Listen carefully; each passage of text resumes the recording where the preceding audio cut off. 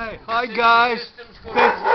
These are guys delivering food in the the COVID-19 from St. Mark's Church. going to get in touch and let you know what time uh, and what day. It might not, might not do it next week. It was the week after, but they're not going to make any more deliveries to the houses unless people are in wheelchairs or.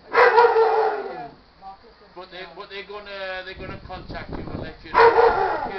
Zone four. Woo! Yes, Zone 4. Zone four. Yes, no, this is Zone 4, District Watch, Neighborhood Watch, right? Watch.